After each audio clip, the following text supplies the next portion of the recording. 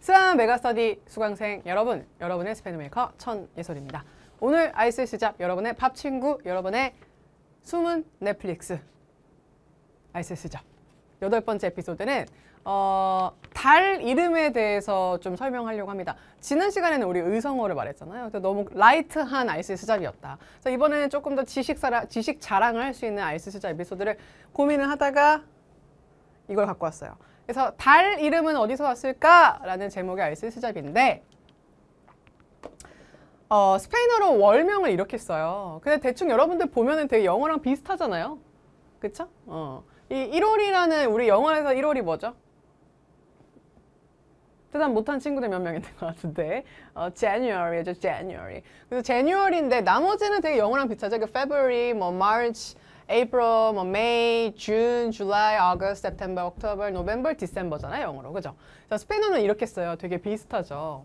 그래서 이 서양에서 쓰는 이 월명이 되게 비슷비슷하거든요. 서양 언어에서. 근데 이 월명이 온 유래가 있어요. 그래서 오늘 그거를 설명을 드리고 좀 재밌는 스페인어 표현도 몇 가지 좀 알려드리려고 알스자 준비했죠. 기대하고 계신가요? 밥을 지금 뜨셨나요? 한술? 오케이. 자, 어, 일단은 이 월명은요.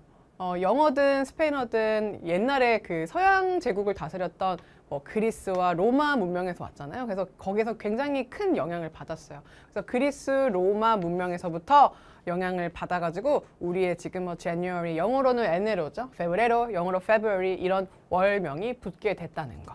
그래서 일단은 이걸 알기 전에 이걸 알아야 돼요. 이걸 예전에 사실 선생님 메가캐스트 Q&A에 아 메가캐스트 Q&A가 아니라 메가 Q&A에 질문을 한 학생이 있었는데 음, 스페인어에서 서수 표현이 있어요. 영어에서는 뭐 seventh, eighth라고 말하는데 요 하얀색 표현을 보시면 보일 거예요. 잘 안 보여도 뭐 상관없죠. 지금 시험 보는 거 아니니까. 그래서 어, 스페인어에서 일곱 번째 seventh를 어떻게 말하냐면 séptimo라 그래요. séptimo. 그리고 여덟 번째는 octavo, 여, 아홉 번째는 noveno, 열 번째는 decimo라고 말해요. 요거는 여러분들 듣고 넘기시면 돼요. 그래서 요거를 발견한 우리 똑똑이 셜록 홈즈 학생이 저한테 어떤 질문 남겼냐면 선생님 9월, 10월, 11월, 12월이 서수 표현 septimo, octavo, noveno, decimo랑 되게 비슷한데 이거는 무슨 평행 이론이 있나요? 저 선생님 이 질문 듣고 너무 놀랐잖아. 너무 셜록 홈즈라서. wow. 추리? wow. 어.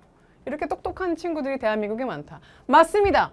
그래서 스페인어는 제가 예전에 제 강의 그 스페인어 입덕 코스에서도 설명을 드렸듯이 스페인 지금 저희가 배우는 스페인어는 옛날 옛날 어, 로마 시대에 쓰던 어, 로마 제국이 있었던 그던 시절에 라틴어라는 언어를 그때 썼거든요. 로마 사람들이. 그래서 라틴어에서 지대한 영향을 받은 게 지금 현재의 스페인어거든요. 그래서 그런 스페인어 같이 라틴어에서 영향을 받은 언어가 되게 많아요. French, 뭐 프랑스어, 이태리어, 루마니아, 포르투갈어 뭐 등등 되게 많아요. 즉 영어에도 되게 영향을 지대한 영향을 미쳤죠. 그래서 사실은 이게 라틴어에서 온 표현이고요. 아까 제가 말했던 것처럼 이 월명은 그리스, 로마 문명에서부터 굉장히 영향을 받았어요. 그리스, 로마 문명. 그렇게 당연히 그래서 로마 사람들이 쓰던 라틴어에서 지대한 영향을 받았다. 그쵸? 그럼 선생님 이게 일곱 번째라는 septimo인데 스페인어에서는 septimo라는데 라틴어에서도 되게 septimo랑 되게 비슷하게 쓰거든요. 일부러 라틴어 가져오지 않았어요. 여러분들 혹시 도망가실까 봐, 밥 먹다가 체하실까 봐.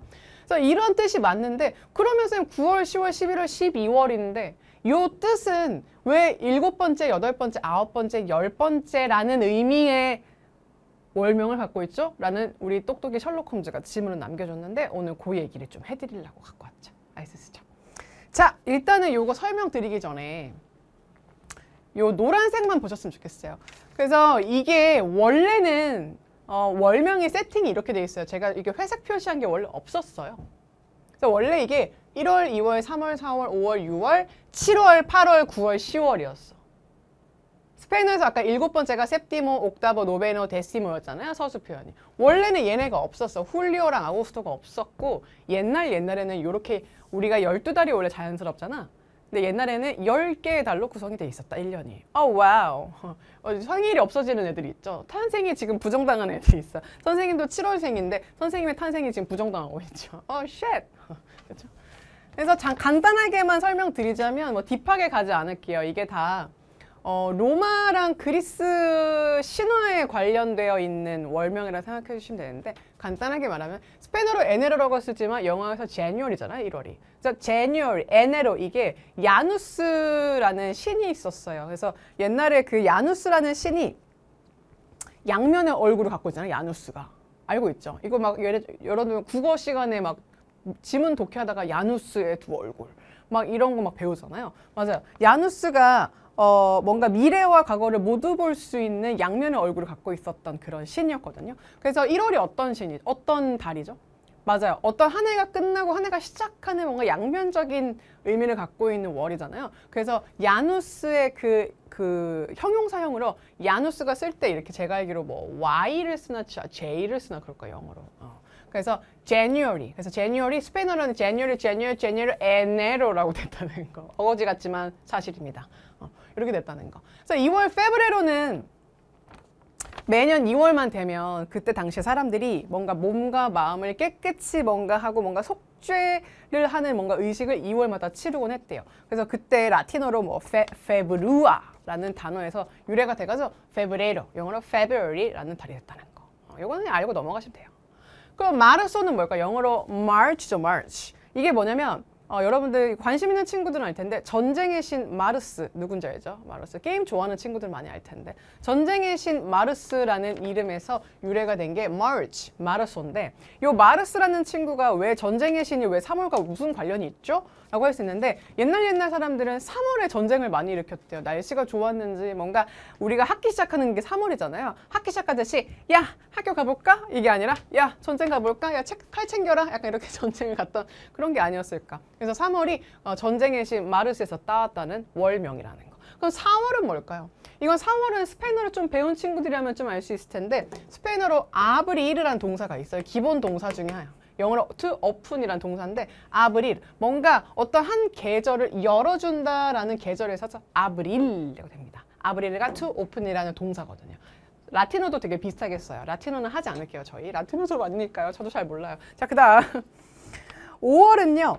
마이아라는 여신에서 따왔고요. 요 마이아는 어, 풍요를 상징하는 여신이었대요. 그래서 우리가 막 MA가 들어간 그런 형용사 되게 많죠. 그래서 유래가 된 게 뭐 뭐 영어로 magnific 뭐 이런 거 있잖아요. magnific 맞나요, 영어로? 스페인어로 magnífico. 그렇죠? 그리고 뭐 mayor 뭐 되게 뭔가 위대한 그리고 나이가 많은 이런 뜻을 갖고 있는 형용사가 다 이 마이아라는 여신의 풍요로움을 상징하는 거기서 따온 말이라 유래된 말이라고 하더라고요. 그래서 풍요로움을 상징하는 마이아 여신에서 왔다는 게 May 스페인어로 mayo입니다. 참치 마요 어, 그 새끼랑 사귀지 마요. 거기서 온 게 아니라 마이아 여신에서 왔다는 거. 자, 후니오는 뭐냐면 이거 되게 재밌는데 제우스라는 신 누구나 다 알 거예요. 그렇죠? 어, 뭔가 제우스가 뭔가 신들의 짱이잖아요. 막 제우스가 있는데 제우스가 부인이 존나 많았어요. 근데 부인이 많았는데 부인 중에 제일 유명한 부인이 헤라라는 부인이 있죠. 우리는 헤라 하면 뭔가 화장품이 생각나죠. 엄마가 쓰는 화장품 헤라 아닌가요? 라고 할 수 있는데 제우스의 부인 중에 한 명이 헤라였어. 헤라. 근데 이 헤라가 어 이게 그리스명이랑 로마명이 다른 거 아시죠? 신 이름이. 그래서 예를 들면 우리가 뭐 아테나 신이 있는데 아테나 신의 원래 이름은 뭐 미네르바고 이렇게 이름 다른 신 이름이 다시 두 가지로 여러분들 불리는데 그때 당시에 제우스 부인이 헤라. 그 헤라 이름이 주노 혹은 유노라고 똑같아요. 헤라랑 주노, 유노랑 똑같은 사람이야. 어, 그리스식으로 부르나 로마식으로 부르냐 이 차이지. 그래서 제우스의 부인 어, 헤라.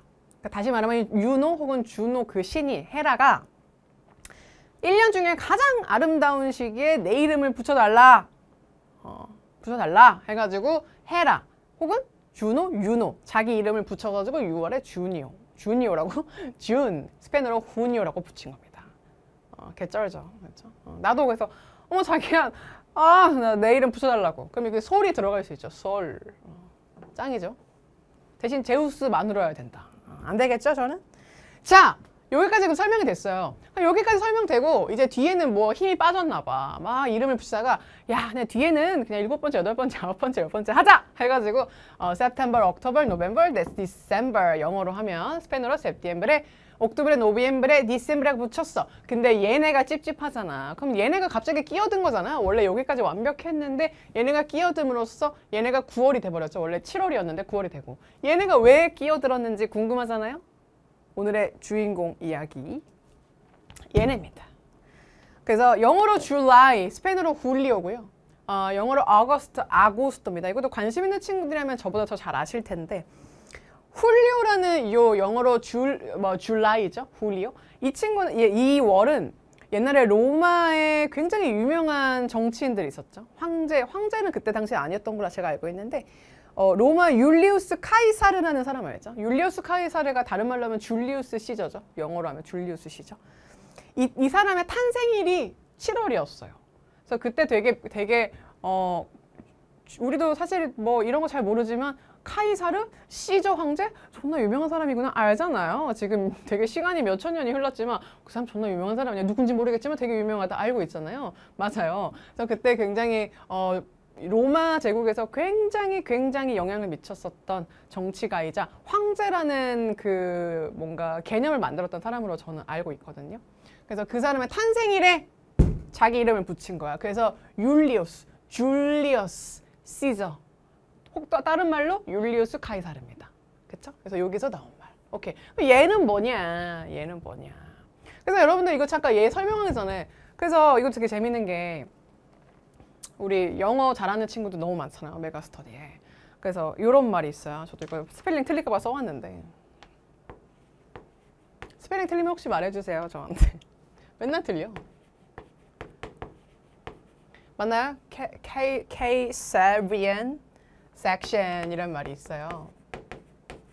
우리 미래, 미래의 의대생 친구들이 요 말은 알아야 되는데 이게 K-Serbian이 그 카이사르에서 오는 형용사거든요. 그래서 카이사르식 섹션이야. 이게 뭐냐면 영어로 다시 흔하게 쓰는 표현 중에 C-section이란 말이 있어요. 이게 뭐냐면 제왕절개를 이렇게 말해요. C-section. 이거 아마 들어본 친구들 쌤 저 들어봤어요. 좀 왜지? 어, 어떻게 잘 알지? 어. 그래서 영어에서도 이거를 쓰는데 이게 뭐냐면 예전에 그 줄리어스 카이사르 시저 황제가 세계 최초의 제왕 절개인이란 얘기가 있었어요. 근데 이것도 제가 잘 알아보니까 뭔가 아니라는 말도 있고 뭐 맞다는 말도 있는데 거기서 유래가 됐다고 하더라고요. 그래서 케이사리안 그래서 카이사르식 섹션 해서 C 섹션 제왕 절개란 뜻입니다. 어, 세계 최초의 제왕 절개로 태어난 사람이랄까. 재밌죠? 자, 그래서 7월은 오케이 비밀이 풀렸어. 그럼 이제 8월이 남았죠. 어, 갑자기 끼어든 친구들 둘이. 제가 여기 이 사람은 여기 왕관을 씌워놓고 얘도 왕관을 씌워놨어요. 얘 아들이에요. 그래서 율리우스 카이사르의 아들이 로마의 황제 아우구스투스라는 사람이 있었어요. 세계사 배우는 친구들한테 아우구스투스 카이사르 혹은 시저의 아들이었죠. 그래서 이 사람이 아, 내 이름도, 내 이름도 넣어줘. 물론 이렇게 하지 않았겠죠. 내 이름을 넣도록 하여라. 이렇게 근엄하게 말했겠죠. 사실은 마음속에 들어가면, 어, 내 이름도 넣어줘. 아빠 이름도 넣었잖아. 해가지고 들어간 거야. 어, 진짜예요. 어, 이렇게 말하진 않았겠죠. 그래서 아우구스투스 황제의 그래서 입김으로 이게 8월이 갑자기 슥 들어간 겁니다. 그래서 이름이 아고스토야. 아우구스투스 황제에서 왔고 율리어스 카이사르에서 이름에 따왔다. 어, 그래서 갑자기 이 교통 정리가 확 무너진 거야. 원래는 여기까지 완벽했는데 얘네가 들어감으로써 얘네가 원래 원뜻은 7, 8, 9, 10이었지만 지금은 9, 10, 11, 12월이 되었다는 거. 어, 굉장히 재밌는 외국어 이야기죠. 그래서 외국어를 들여다보면은 우리 인간의 역사를 알고 알 수 있고요. 선생님이 되게 좋아하는 말 중에 또 어원학이라는 학문이 있어요. 쌤 되게 이렇게 되게 재미 좋아하는데 어, 영어, 여러분들이 지금 영어만 배우지만 또 스페인어 언어가 또 여, 외국어권에서 서양어권에서 많이 쓰는 서양어 중에 하나잖아요. 그래서 영어와 스페인어 이 두 언어를 다루다 보면은 대충 서양 역사, 우리 인류의 역사를 대충 말만 보고도 유추할 수 있는 능력을 가질 수 있다. 그래서 고로 스페인어를 배워라. 라는 말을 제가 드리면서 오늘 알쓸스잡 마무리를 하도록 하겠습니다. 여러분의 밥친구 다음 월 편에서도 어떤 에피소드를 가져올지 모르겠지만 기대해 주시고 많은 댓글 달아주시기 바랍니다. adiós!